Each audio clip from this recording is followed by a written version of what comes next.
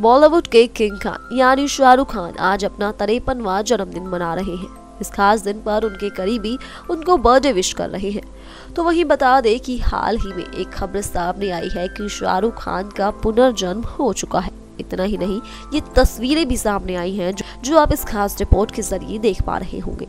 दरअसल दोस्तों आपको कराते हैं इन तस्वीरों की सच्चाई से रूबरू। बता दें ये तस्वीरें जो आप देख पा रहे हैं ये शाहरुख के। बचपन की तस्वीरें हैं।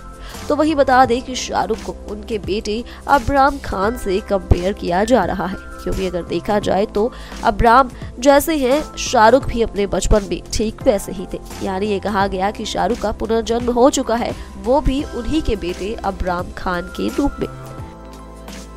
नेक्स्ट नाइन लाइफ से चित्रा की रिपोर्ट।